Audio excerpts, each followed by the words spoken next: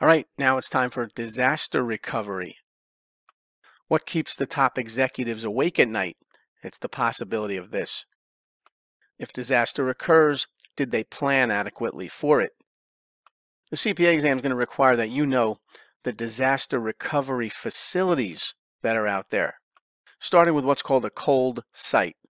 A cold site is an off-site location that has electrical and other physical requirements for processing, but a cold site has no computers or files. The business paying for the cold site has to provide and install the equipment. A cold site is considered the lowest cost solution, and that's because it's essentially an empty office. It's not stacked with computers. Cold sites don't already have equipment. Typically, a cold site could take one to three days or more for the business to be up and running again. And that's why cold sites are useful for less critical applications. Sometimes a cold site is on a mobile unit such as a truck bed, and if so, it's considered a mobile cold site. All right, what's a warm site then? A warm site's an off-site location with similar computer hardware to what you have already, but no files. The backup data files to recover will be delivered as needed, possibly as quickly as the same day, maybe the next day, depending on how critical. Because the warm site already has similar computer hardware, it's not an empty office like a cold site. A warm site is more costly than a cold site, and if on a mobile unit, it's called a mobile warm site. All right, now what are hot sites? Hot sites are used for mission critical applications. They're completely equipped, including the data, Hot sites allow for near immediate recovery within minutes or hours.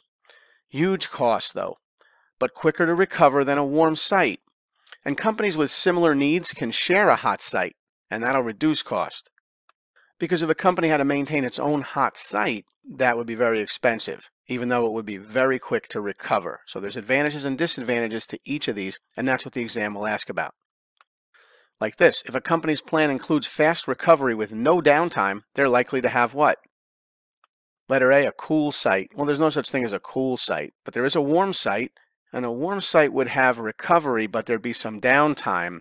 The computers are there, but not the data in a warm site. Here we want fast recovery with no downtime. We'd have to go to a hot site. And we would have to plan for that by having a hot site all ready and equipped with computers and data and that would be answer choice D. Because if a company's plan includes fast recovery with no downtime, they're likely to have a hot site and already have the computers and data files in an off-site location, ready to go if disaster occurs. Let's try this one. In the event of a disaster that makes the company's facilities unusable, Leo, the controller, has arranged for the use of an alternate location to be used as a data processing disaster recovery site, but has not been stocked with equipment Okay, so you got the site, but it has not been stocked with any equipment. What's that? That's a cold site, isn't it? Letter A looks good. It's not a warm site. B, because to be a warm site, there would have to be equipment there. C, it's certainly not a hot site because there's no equipment and there's no files. And D, a holy site? I think we'll go with A here. Cold site based on the facts given. Because it hasn't been stocked with equipment. All right, how about a fully operational processing facility that is immediately available in the event of a disaster? That's known as, that's your hot site, letter C. Fully operational processing facility that is immediately available in the event of a disaster, that's a hot site. It's fully operational, meaning it has equipment and it has data files. Okay, regarding disaster recovery planning, which of the following describes a warm site? A says Facilities and equipment are available on site, but still requires configuration and restoration of data files in order to resume processing. And I'd have to say that's pretty good because if we have facilities and equipment available on site, then we're getting warmer. We're almost able to resume processing. So A's working for me, but let's go to B. Facility with only electrical power on site and no computer equipment. Well, that's a cold site. The facts are looking for a warm site. C, facilities have fully operational facilities and hardware immediately available without the need of any configuration, well, that's a hot site, isn't it? But that's not what the question's asking for. The question's asking for a warm site. D says facilities on a mobile truck bed that have only electrical power. Well, that's still a cold site, just like letter B is, Just because it's on a mobile truck bed doesn't change it to a warm site. That still describes a cold site because it has only electrical power. So the best answer is what? Letter A. Because a warm site offers a company a location with facilities and equipment already available on site, but still requires what? Some configuration of the system and restoration of data files in order to resume processing. If it didn't need any configuration of the system and already had the data files, then it would be a hot site and not a warm site. Now, backup files serve as a corrective control. In case they ask, it's not a preventive control to have backup files. It's a corrective control. It's not even a detective, but it's a corrective control. Business needs to be able to recover from power failure, equipment failure, errors involved in processing the wrong file. If you process the wrong file, that needs to be corrected. And if you have backup files, you could correct the fact that you processed the wrong file. What would be an example of processing the wrong file? Well, maybe you processed the payroll file, but it had a date on it, let's say of October 22nd. The problem is, although today is October 22nd and you processed the payroll file for today, you accidentally processed the payroll file for October 22nd last year, not October 22nd this year. And that would create errors and that would need to be corrected. And if you had a backup of the payroll file that was up to date and correct prior to today's processing, then that would serve as a corrective control. Having that backup file didn't prevent the error, it didn't even detect the error, but we can use that backup file to correct the error. And of course, power failures could create errors, equipment failures, natural disasters. And for all those reasons, the company needs a disaster recovery plan that include things like redundant multiple backups.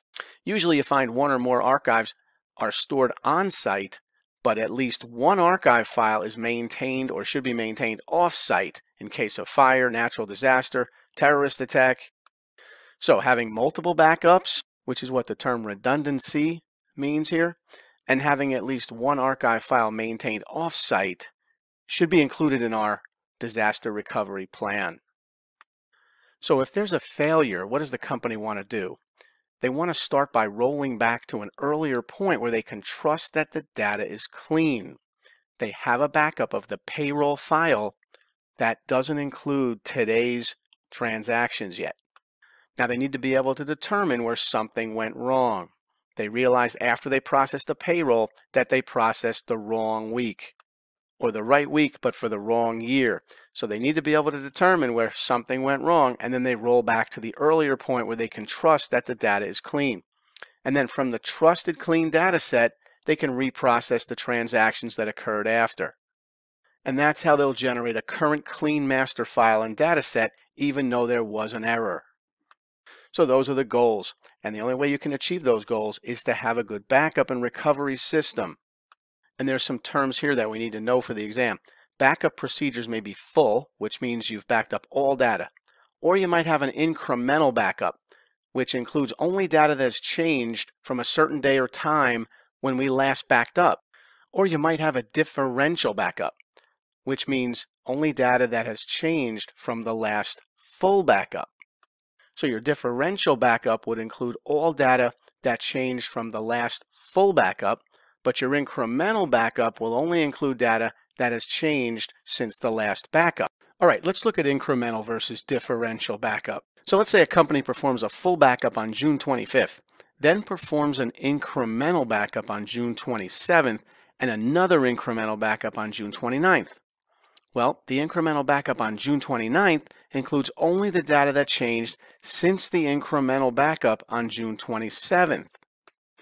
If the company performed a differential backup on June 29th and not an incremental backup on June 29th, then it would include all the data that changed since the last full backup on June 25th.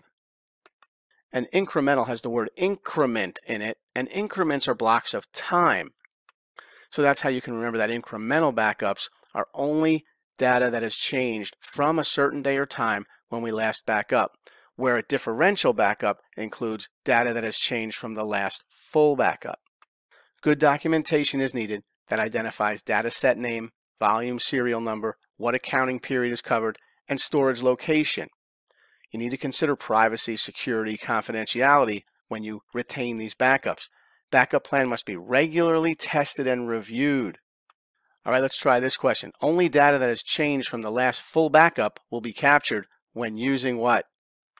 Well, it has the word full in there, right? So only data that has changed from the last full backup will be captured when using a differential backup. And that's letter B. In a differential backup, only data that has changed from the last full backup will be captured. All right, if a full backup was performed on February 1st and an incremental backup occurred on February 2nd and another incremental backup on February 3rd, the incremental backup on February 3rd would consist of what? And if you think you know, leave me the answer in the comments section. And remember to like and subscribe because it helps the channel out a lot. And if you need more help with IT or any other part of the BEC exam, get yourself on I-75 the right road to passing the CPA exam. I'm Darius Clark, and I'll help you like no one has helped you before. And when you go to CPAexamtutoring.com, you'll notice the I-75 difference.